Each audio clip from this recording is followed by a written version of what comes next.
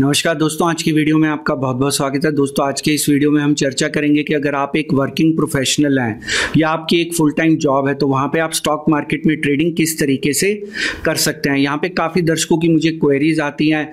और दोस्तों, जो वर्किंग प्रोफेशनल होते हैं, उनका ऑब्जेक्टिव होता है कि किस तरीके से हम एक second source of income generate करें। तो दोस्तों, जब मैं जॉब में था, मैंने वहाँ पे अपने लिए दो और सोर्सेज जनरेट किए हुए थे इनकम के। पहला था स्टॉक मार्केट से ट्रेडिंग के द्वारा। दूसरा था, मैंने एक ब्लॉग ब्लॉग स्टार्ट किया था 2011 में नितिन भाटिया डॉट इन जहाँ से मुझे कुछ इनकम हो जाती थी।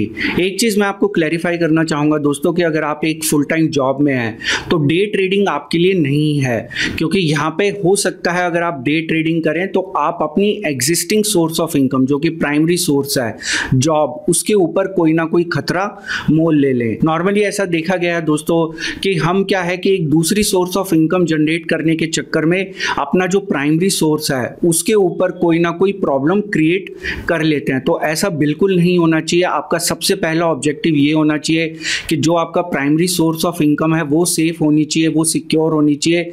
उसके बाद आप किस तरीके से एक second source of income generate कर सकते हैं स्टॉक मार्केट में ट्रेडिंग करके, आप उसके बारे में सोचिए। कहने का मतलब ये है कि आपका जो ऑफ़िस का काम है, वो सफ़र नहीं होना चाहिए। अब आप कहेंगे कि भाई, अगर हमारा ऑफ़िस का काम सफ़र नहीं होना चाहिए तो हमें तो टाइम ही नहीं मिलता। हम पूरा दिन ऑफ़िस में बिज़ी रहते हैं। दोस्तों, ऐसा नहीं होता। तो यहाँ पे काफ़ी सारी स्टडीज़ की गई हैं, जिनके अंदर पाया गया है कि जो एवरेज इंडियन है, जो वर्किंग प्रोफेशनल है, वो नॉर्मली आठ से नौ घंटे ऑफ़िस में स्पेंड करता है। लेकिन उसके अंदर केवल प्रोडक्टिव आवर्स जो हैं, वो चार घंटे पचास मिनट के आसपास ही होते हैं। तो जो बाकी का समय होता है दोस्तों, तीन घंटे दस मिनट का, वो आपके अनप्रोडक्टिव टास्क या अनप्रोडक्टिव कामों में जाता है। तो दोस्तों, जब मैं जॉब करता था, इस चीज़ को मैंने एक्सेप्ट किया। हम चाहे अपने बॉस के सामने एक्सेप्ट नहीं करेंगे, लेकिन ये फैक्ट है कि हम अगर आठ घंटे काम करते हैं तो उसमें तीन घंटे के आसपास जो समय है, वो हमारा अनप्रोडक्टिव टास्क में जाता है। तो दोस्तों, वहाँ पे हम उस समय को कैसे यूटिलाइज कर सकते हैं?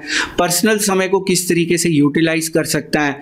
तो इन सभी बातों की चर्चा हम आज के इस वीडियो में करेंगे। इसके अलावा दोस्तों, मैंने देखा है कि काफ़ी दर्शक कहते हैं, या ऐसा माना जाता है कि अगर आप जॉब में हैं तो आप स्टॉक मार्केट में ट्रेडिंग के द्वारा सक्सेसफुल नहीं हो सकते। उसके पीछे क्या कारण है? वो कारण भी मैं आपको आज के इस वीडियो में बताऊँगा। तो ऐसा नहीं है कि जॉब के साथ साथ आप स्टॉक मार्केट ट्रेडिंग में सक्सेसफुल नहीं हो सकते। वहाँ पे बिल्कुल हो सकते हैं, लेकिन उसके पीछे के कारण को जानना ज़रूरी है। अगर आप उस कारण को फिक्स कर लेंगे, उसको सॉल्व कर लेंगे तो वहाँ पे आप डेफिनेटली स्टॉक मार्केट ट्रेडिंग में भी मुनाफा कमा सकते हैं अपनी जॉब के साथ। तो वो कारण क्या है, वो मैं वीडियो के लास्ट में बताऊँगा, लेकिन पहले हम जानेंगे सात ऐसी टिप्स, सात ऐसे पॉइंट्स जिनकी सहायता से आप अपनी फुल टाइम जॉब के साथ या अगर आप वर्किंग प्रोफेशनल हैं तो वहाँ पे आप स्टॉक मार्केट ट्रेडिंग किस तरीके से कर सकते हैं। तो काफ़ी महत्वपूर्ण वीडियो है, आप इस वीडियो को लास्ट तक ज़रूर देखिएगा।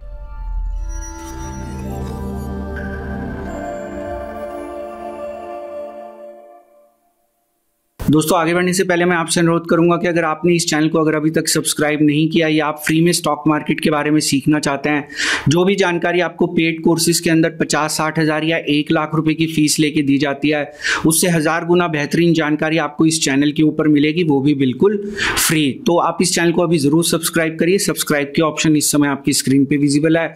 आप नीचे दिखाए गए लाल रंग के सब्सक्राइब बटन को भी दबा सकते हैं, उसके साथ दिखाए गए बेल नोटिफिकेशन को क्लिक करना मत भूलेगा ताकि जब भी कोई नया वीडियो वीडियो अपलोड हो, उसकी नोटिफिकेशन आपको अपनी ऐप या ईमेल के ऊपर मिल जाए।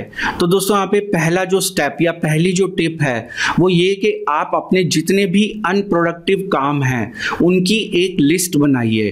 दोस्तों, ये बहुत मुश्किल काम होता है, क्योंकि पहला स्टेप हमेशा मुश्किल होता है, लेकिन ये आपको करना पड़ेगा।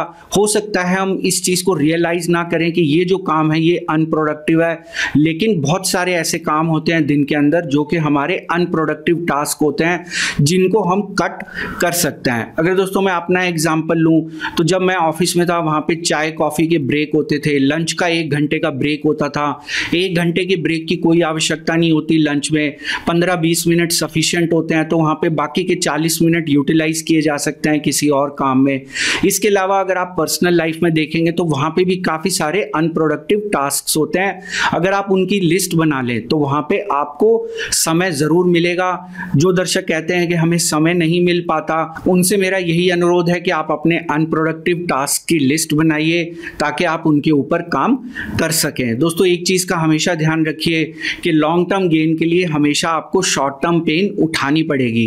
अब दोस्तों, हमें काफ़ी मज़ा आता था कि जब हम लंच के अंदर बैठे होते थे गॉसिप होती थी ऑफ़िस पॉलिटिक्स होती थी, उन बातों में हमें काफ़ी मज़ा आता था। लेकिन जब मैंने डिसाइड किया कि मैं अपना समय जो है लर्निंग में व्यतीत करूँगा तो मैंने उन सब चीज़ों को कट कर दिया अनप्रोडक्टिव टास्क को कट कर दिया टी और कॉफ़ी ब्रेक्स को कट कर दिया तो वहाँ पे मेरे पास काफ़ी समय बच जाता था। तो जब आप अनप्रोडक्टिव टास्क की लिस्ट बनाएँगे तो वहाँ पे आपको काफ़ी बातें क्लियर हो जाएँगी कि कहाँ कहाँ पे आप समय सेव कर सकते हैं। दोस्तों, यहाँ पे दूसरी टिप आती है कि अगर आप चीज़ों को प्लान करेंगे, आप एक प्लान के हिसाब से चलेंगे तो वहाँ पे आप काफ़ी सारा समय बचा सकते हैं। अब स्विंग ट्रेडिंग के लिए दोस्तों, क्या होता है कि आपका जो एनालिसिस है, वो नॉर्मली मार्केट आवर्स के बाद होता है।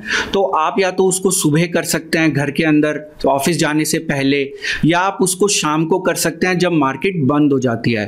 तो मैं ऑफ़िस में क्या करता था दोस्तों, जो भी मेरी मीटिंग्स होती थी, जितने भी मीटिंग्स होती थी, मैं नॉर्मली कोशिश करता था कि वो सारी मीटिंग्स मेरी जब मार्केट ओपन है, उस समय में कंप्लीट कर लूँ, ताकि जब मार्केट बंद हो, उसके बाद जो समय बचेगा मेरे पास, उसके अंदर अगर मेरे ऑफ़िस का काम हो चुका है तो मैं वहाँ पे अपना समय जो है स्टॉक्स के एनालिसिस के लिए चार्ट्स को देखने के लिए व्यतीत कर सकूँ। तो दोस्तों ऑफ़िस का काम सफ़र नहीं होना चाहिए, ये मैं आपको पहले पहले भी बता चुका हूँ। तो आप इस तरीके से प्लान करिए कि अगर आप दिन में पाँच मीटिंग्स हैं आपकी सुबह से लेकर शाम तक तो नॉर्मली कोशिश करिए कि वो सारी मीटिंग्स आप तीन, साढ़े तीन बजे तक निपटा लें, ताकि आप उसके बाद जो है अपना स्टॉक मार्केट की लर्निंग से संबंधित या अगर आप कोई एनालिसिस करना चाहते हैं, आप उसको कर सकते हैं। तो दोस्तों, जब आप चीज़ों को प्लान करेंगे तो आपका माइंड अपने आप समय को किस तरीके से बचाया जाए, उस तरफ़ दौड़ना शुरू कर देगा। तो आप यहाँ पे प्लान करके ही समय को बचा सकते हैं, नहीं तो इसका कोई और तरीका नहीं है। दोस्तों, यहाँ पे तीसरी टिप ये आती है कि जब मैंने डिसाइड किया कि मेरे को अपना पूरा समय जो है लर्निंग में व्यतीत करना है या अपने ब्लॉग के ऊपर भी फोकस करना है तो दोस्तों, वहाँ पे मैंने अपने सोशल मीडिया के सारे पर्सनल अकाउंट्स को डिलीट कर दिया। तो दोस्तों, उस समय मैंने देखा कि मेरा दिन का दो या तीन घंटे का जो समय है, वो सोशल मीडिया पे ज़्यादा व्यतीत होता था। उस समय दोस्तों एसएमएस भेजे जाते थे, जिस समय की मैं बात कर रहा हूँ। फेसबुक उस समय बहुत नया नया आया था। काफ़ी शौक था लोगों को। ऑर्कुट होता था। ऑर्कुट जो है, जो लोग उस समय सोशल मीडिया पे थे, उनको मालूम है कि ऑर्कुट पहली सोशल मीडिया प्लेटफॉर्म थी। तो दोस्तों, उस समय मेरे जितने भी सोशल मीडिया के अकाउंट से मैंने उन सबको डिलीट कर दिया था। आज की डेट में भी मेरा कोई भी सोशल मीडिया के ऊपर पर्सनल अकाउंट नहीं है। मेरे व्हाट्सएप में कोई भी ऐसा ग्रुप नहीं है जहाँ पे मेरा समय व्यर्थ होता हो। केवल वही ग्रुप्स हैं जहाँ पे मुझे सीखने को मिलता है, जहाँ पे लर्निंग है, या जो मेरा एक अपना ग्रुप है इस चैनल के मेंबर्स के लिए। इसके अलावा मैं और किसी भी फैमिली ग्रुप में नहीं हूँ। इसके अलावा मैं और किसी भी स्कूल के या कॉलेज के ग्रुप में नहीं हूँ। क्योंकि दोस्तों, यहाँ पे अगर आप उन ग्रुप्स को ज्वाइन करते हैं जाने अनजाने आप दिन में दो या तीन घंटे वेस्ट ज़रूर करेंगे तो वहाँ पे कुछ भी प्रोडक्टिव नहीं हो रहा। अब यहाँ पे हो सकता है कुछ दर्शक ऑफेंडेड हो जाएँ कि भाई हमें मनोरंजन भी भी चाहिए। हम सोशल एनिमल हैं, हमें यहाँ पे सोशलाइज करना चाहिए। दोस्तों, देखिए सोशलाइज करने का तरीका होता है कि आप वन टू वन सोशलाइज करिए। सोशल मीडिया के ऊपर सोशलाइजेशन का मुझे कोई औचित्य नहीं दिखता। वो केवल एक समय व्यर्थ करना है। तो दोस्तों, जैसा कि मैंने आपको कहा, हमेशा आप ये देखिए कि ये काम प्रोडक्टिव है या अनप्रोडक्टिव मेरे हिसाब से जितना समय आप सोशल मीडिया पे व्यर्थ करते हैं, वो आपका एक अनप्रोडक्टिव टास्क है अनप्रोडक्टिव टाइम है। उसको आप इस्तेमाल कर सकते सकते हैं। मैंने काफ़ी लोगों को देखा है कि पूरा दिन वो व्हाट्सएप ग्रुप पे लगे रहते हैं या सोशल मीडिया पे लगे रहते हैं। फिर आप उनसे पूछें कि कोई हमें काम करना चाहिए या ये काम रह गया या वो काम करना है तो उनके पास एक ही बहाना होता है कि हमारे पास तो समय नहीं है। तो वो जो समय व्यर्थ करते हैं सोशल मीडिया पे, उसको वो अनप्रोडक्टिव काम नहीं मानते। वो उनको लगता है कि ये उनकी लाइफ का एक हिस्सा है। देखिए, हर किसी की अपनी अपनी सोच है अपना अपना सोचने का तरीका है। मैं केवल आपको अपना एक्सपीरियंस बता रहा हूँ। और दोस्तों ऐसा नहीं कि कोई यहाँ पे मेरा बहुत बड़ा नुकसान हो गया। अगर मान लीजिए मैं किसी सोशल मीडिया प्लेटफॉर्म पे मेरा कोई पर्सनल अकाउंट नहीं है, दुनिया कल भी चल रही थी, आज भी चल रही है, कल भी चलती रहेगी, मेरे वहाँ पे होने या ना होने से कोई फ़र्क नहीं पड़ता। मैं यहाँ पे कोशिश करता हूँ कि जो 24 घंटे होते हैं, उसके अंदर मेरे जितना भी समय है, जिस समय मैं जाग रहा होता हूँ, वो मेरा प्रोडक्टिव कामों में जाए। अनप्रोडक्टिव टास्क जो हैं, जिनके अंदर हमें कुछ भी नहीं मिल रहा, उनको कट करना चाहिए। मनोरंजन के लिए आप अपना एक टाइम फिक्स कर लीजिए कि दिन में आप आधा घंटा या एक घंटा या हफ़्ते में इतने घंटे आप मनोरंजन पे व्यतीत करेंगे। मनोरंजन भी इंपॉर्टेंट है, लेकिन उसको एक टाइम लिमिट के अंदर बाउंड करिए। सोशल मीडिया में मैंने देखा है कि आप उस चीज़ को टाइम लिमिट में बाउंड नहीं कर सकते।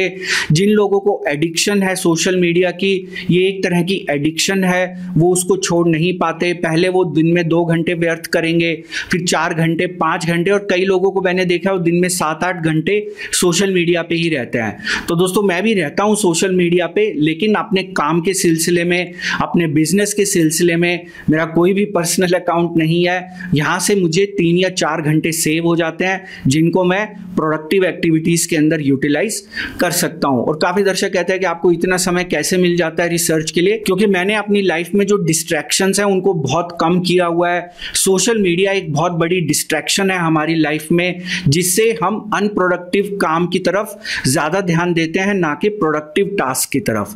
तो दोस्तों, मुझे उम्मीद है कि आपको ये टिप पसंद आएगी। अगर आपको ये टिप नहीं अच्छी लगी तो उसके लिए मैं माफ़ी चाहता हूँ। हर किसी का अपना सोचने का तरीका है, लेकिन मुझे ऐसा लगता है कि हमें अनप्रोडक्टिव टास्क को कट कर देना चाहिए। जो भी काम हमें अपने लक्ष्य से भटकाते हैं, उन कामों की तरफ़ हमें ध्यान नहीं देना चाहिए। दोस्तों, यहाँ पे चौथी टिप या चौथा पॉइंट है कि ऑफ़िस में आप लाइक माइंडेड पीपल के साथ कंपनी बनाइए। तो हमेशा आपको ऑफ़िस में एक दो लोग ऐसे मिल जाएँगे जो कि स्टॉक मार्केट में निवेश करते होंगे। या अगर मान लीजिए आप कोई बिज़नेस भी खोलने की सोच रहे हैं तो उनका भी जो ध्यान है वो ऑन्टरप्रनोरशिप की तरफ़ होगा। तो जब आप लाइक माइंडेड पीपल की कंपनी में होंगे तो आपका जो ध्यान है, केवल अपने लक्ष्य की तरफ़ रहेगा। आप उनसे डिस्कस कर सकते हैं। जो आपको प्रॉब्लम आ रही है, आप उनके साथ चर्चा कर सकते हैं। तो वो लोग आपकी काफ़ी हेल्प करेंगे। तो इसी तरीके से मैंने भी ऑफ़िस में दो लोग ऐसे थे, मेरे जो कोलीग्स थे, मेरे फ्रेंड्स थे, जिनके साथ हम यही चर्चा करते थे कि किस तरीके से करना है, क्या करना है, यहाँ पे क्या गलती होती है, कैसे यहाँ पे उसको सुधारा जाए। तो मैं उनकी गलतियों से सीखता था, वो मेरी गलतियों से सीखते थे। तो यहाँ पे जब दो या तीन लोगों का ग्रुप बन जाता है लाइक माइंडेड लोगों का तो वहाँ पे आपको सीखने में बहुत मदद मिलती है। वहाँ पे आप अच्छा करेंगे स्टॉक मार्केट में, क्योंकि आपको पता होगा कि दूसरे क्या गलती कर रहे हैं। और दोस्तों, जिस समय की मैं बात कर रहा हूँ, उस समय डेटा बहुत महँगा हुआ करता था। तो वहाँ पे ये एक अच्छा साधन होता था कि वन टू वन इंट्रैक्शन के द्वारा फेस टू फेस इंट्रैक्शन के द्वारा वहाँ पे सीखा जाए। क्योंकि डेटा काफ़ी महँगा होता था तो हम वीडियोस वगैरह तो नहीं देख पाते थे, लेकिन यहाँ पे लाइक माइंडेड पीपल का ग्रुप हमेशा ज़रूरी होता है। अगर आप यूट्यूब के ऊपर जुड़े भी हुए हैं ब्लॉग्स के ऊपर भी जुड़े हुए हैं सीखने के लिए, फिर भी मैं आपसे अनुरोध करूँगा कि आप लाइक माइंडेड पीपल को ढूंढिए, जो स्टॉक मार्केट में निवेश करते हैं, उनके साथ बैठ के चर्चा करिए। तो दोस्तों, यहाँ पे वन टू वन और फेस टू फेस इंट्रैक्शन की सीख का एक अलग महत्व है, वो भी होनी चाहिए हमारी लाइफ में। चाहे हम वीडियोस के द्वारा सीखें ब्लॉग्स के द्वारा सीखें, लेकिन फेस टू फेस इंट्रैक्शन करके भी सीखना बहुत ज़रूरी है। लेकिन यहाँ पे बस शर्त यही है कि जिन लोगों की आप कंपनी में हैं, वो भी सीरियस निवेशक या सीरियस ट्रेडर होने चाहिए। और अगर आपको ऐसे लोग ऑफ़िस में मिल जाते हैं तो वो एक सोने पे सुहागा है। दोस्तों, यहाँ पे पांचवा पॉइंट आता है कि स्टॉक मार्केट में कंसिस्टेंट रहना बहुत महत्वपूर्ण है। यहाँ पे कंसिस्टेंसी का मतलब है कि अगर आप स्टॉक मार्केट से जुड़े हुए हैं तो आप उसके साथ जुड़े रहिए, चाहे आपने ट्रेड लिया हुआ है या नहीं लिया हुआ। चाहे मैं निवेश कर रहा हूँ या नहीं कर रहा। दोस्तों स्टॉक मार्केट एक सोप ओपरा की तरह है, जहाँ पे अगर आपने बीच में एक भी सीरियल मिस कर दिया तो आपको आगे की कहानी शायद ना समझ आए। तो यहाँ पे आपको डेली बेसिस के ऊपर एनालिसिस करना ज़रूरी है। चाहे आप निवेश करें या ना करें, मैं आपको पहले भी बताता आया हूँ कि अगर मैं किसी दिन निवेश नहीं करता या ट्रेड नहीं करता या कुछ भी नहीं करता, कोई एक्शन नहीं लेता स्टॉक मार्केट में। लेकिन मैं उस दिन का एनालिसिस ज़रूर करता हूँ, क्योंकि आपको पूरी पिक्चर तभी समझ आएगी जब आप वहाँ पे कंसिस्टेंट बेसिस के ऊपर मार्केट को ऑब्ज़र्व कर रहे हैं। कंसिस्टेंट बेसिस के ऊपर कुछ स्टॉक्स को देख रहे हैं। यहाँ पे मैंने अपने कुछ स्विंग ट्रेड्स आपके साथ शेयर किए। काफ़ी दर्शक कहते हैं कि आप उन स्टॉक्स को आइडेंटिफाई कैसे करते हैं। तो दोस्तों मैं उन स्टॉक्स को कंसिस्टेंटली काफ़ी समय तक वॉच करता रहता हूँ। जो दर्शक मेरी स्विंग ट्रेडिंग की वॉच लिस्ट देखते थे, वो कुछ स्टॉक्स मेरी वॉच लिस्ट में काफ़ी समय तक रहते थे। जब तक वो एक परफेक्ट बाय सिग्नल नहीं देते थे बाय पॉइंट नहीं आता था, मैं उनको अपनी वॉच लिस्ट में रखता था। आईसीआईसीआई बैंक का मैंने आपको एग्ज़ाम्पल दिया था, जहाँ पे डबल बॉटम बना था। उसके बाद एक अच्छा मूव आया आईसीआईसीआई बैंक के अंदर। तो वो स्टॉक मेरी वॉच लिस्ट में डेढ़ या दो महीने तक रहा। दोस्तों, अगर आप ऑफ़िस में काम करते हैं वर्किंग प्रोफेशनल हैं। तो हो सकता है कि आपकी सेकेंड हाफ़ में कोई आपको काम पड़ जाए। हमेशा ऐसा नहीं होगा कि आप सेकेंड हाफ़ में फ्री होंगे रिसर्च करने के लिए एनालिसिस करने के लिए। तो वहाँ पे दोस्तों मैं क्या करता था, अगर ऐसा कुछ होता था तो मैं सुबह जल्दी उठ जाता था, अपनी नींद के ऊपर कॉम्प्रोमाइज़ करता था थोड़ा सा ताकि मेरा एनालिसिस सफ़र ना हो। तो दोस्तों कुछ भी हो जाए, आंधी आए, तूफ़ान आए, बारिश आए, कुछ भी हो, यहाँ पे एनालिसिस डेली का करना बहुत ज़रूरी है। जो भी एनालिसिस आप कर रहे हैं, अगर आप बीच में एक दिन मिस कर देंगे तो आपकी पिछली सारी मेहनत खराब हो जाएगी। क्योंकि आपको पता नहीं उस दिन क्या हुआ मार्केट में, कैसे हुआ उस स्टॉक के अंदर, क्या मूवमेंट आई। तो यहाँ पे कंसिस्टेंट रहना बहुत ज़रूरी है एनालिसिस के पॉइंट ऑफ़ व्यू से। अगर आप ऑफ़िस में जॉब करते हैं तो आपको कंसिस्टेंट रहना पड़ेगा। तो यहाँ पे आप ये एक्सक्यूज नहीं दे सकते कि मैं तो ऑफ़िस में जॉब करता हूँ, मेरे लिए कंसिस्टेंट रह पाना बहुत मुश्किल है। नहीं तो आप वहाँ पे ठीक से सीख नहीं पाएँगे। अब दोस्तों, छठे नंबर का पॉइंट ये आता है कि जिनके पास लिमिटेड टाइम होता है जो वर्किंग प्रोफेशनल हैं, उनका एक बहुत कॉमन एक्सक्यूज होता है कि हमारे पास यहाँ सीखने के लिए टाइम नहीं है, हम तो सीधा निवेश करेंगे। जो मेरे साथ मेरे मित्र होते थे ऑफ़िस में, उनका भी यही एक्सक्यूज होता था। दोस्तों, देखिए, यहाँ पे जो लर्निंग है, उसका कोई भी शॉर्टकट नहीं है। अगर आपके पास लिमिटेड टाइम है तो आप अभी निवेश मत करिए, पहले सीखना शुरू करिए। दोस्तों, अगर आप कोई कोर्स करते हैं, मान लीजिए आप एक रेगुलर कोर्स करते हैं फुल टाइम कोर्स करते हैं पार्ट टाइम करते हैं कॉरेस्पॉन्डेंस से करते हैं मॉर्निंग कॉलेज में करते हैं इवनिंग कॉलेज में करते हैं या नाइट कॉलेज में करते हैं तो जो आपको सीखना है वो तो आपको सीखना ही है। उसके अंदर ये फ़र्क नहीं पड़ता कि आप वहाँ पे फुल टाइम जॉब कर रहे हैं या आपके पास समय नहीं है या आप वहाँ पे नाइट कॉलेज में जाते हैं या आप कॉरेस्पॉन्डेंस से कर रहे हैं तो जो आपको सीखना है वो तो सीखना ही पड़ेगा। अगर मेरे पास टाइम नहीं है तो मैं पहले निवेश नहीं करूँगा। तो दोस्तों, जब मैं जॉब में था, वहाँ पर मैंने लगभग डेढ़ से दो साल जो है केवल सीखने में व्यतीत किया कि इस चीज़ को मैं कैसे सीखूँ कैसे अपनी गलतियों को सुधारूँ, कहाँ पर मैं गलती कर रहा हूँ। मैं वहाँ पर पेपर ट्रेडिंग करता था, उस समय कोई ज़्यादा प्लेटफॉर्म नहीं होते थे तो मैंने डायरी बनाई हुई थी। डायरी के अंदर मैं लिखता था कि आज मुझे इस स्टॉक को अगर खरीदना है तो मैं यहाँ पे कितने में खरीदूँगा, कितने में बेचूँगा, यहाँ पे मुझे मुनाफा होगा लॉस होगा। तो दोस्तों, इस तरीके से सीखना बहुत ज़रूरी है। आप शुरुआत जो है ट्रेडिंग से नहीं कर सकते और मेरे पास लिमिटेड टाइम है, आप इस चीज़ का एक्सक्यूज़ नहीं दे सकते। अगर आपके पास लिमिटेड टाइम है तो आप शुरू से पहले सीखना शुरू करिए, देखिए कितना समय लगता है, सब चीज़ों को सीखिए। और दोस्तों, उस समय जब मैं सीखता था, तब उस समय इतना ज़्यादा ऑनलाइन इंफॉर्मेशन अवेलेबल नहीं होती थी। तो यहाँ पे किताबों के द्वारा आपने देखा होगा कि मैंने काफ़ी चीज़ें किताबों के द्वारा सीखी हैं, क्योंकि वहाँ पे किताबें ही हमारी बेस्ट फ्रेंड होती थी, परम मित्र होती थी।